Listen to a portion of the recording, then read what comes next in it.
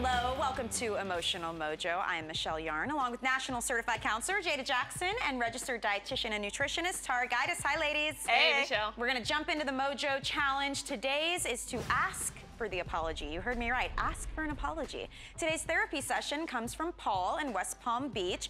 Paul says, Hey, Emotional Mojo, I feel like my wife needs to say sorry for flaunting her body at my company's Christmas party.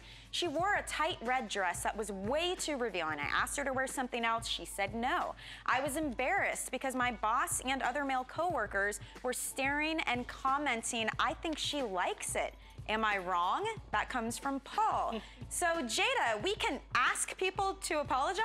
I, yeah, Michelle, I know it sounds weird, but the reality is, without saying, hey, can you give me an apology? We do it anyway. You know, it's going to a person saying, hey, you did this wrong to me, this is how I feel, and essentially we're asking for an apology. So, in this situation, of course, is he wrong?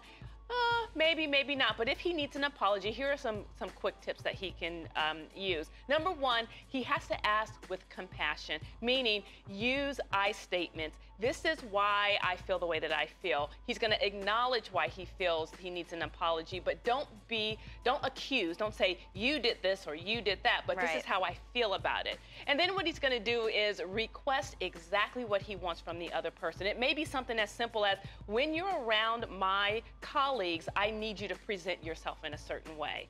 And then be prepared that he may not get the apology that he's looking for. But if he does get the apology, thank his wife for giving him the apology. So, then they can no move on. games here. We're being very clear and straightforward about what we mm-hmm. want. Absolutely, Michelle. And that's the only way to do it. it. He can't play games saying, oh, I think I need her to do that or I think I need her to do that. Just be very definitive about what you want. Well, and I think the most important thing that you said is you have to come not from a place of anger. It has to be very clear about what do I want, and you know this is how you made me feel, and not you dress like a whatever at the, at the company party. You know that's not gonna fly. So, what do you know? Open communication. It works Oh. every time, right? Simple but true, Michelle.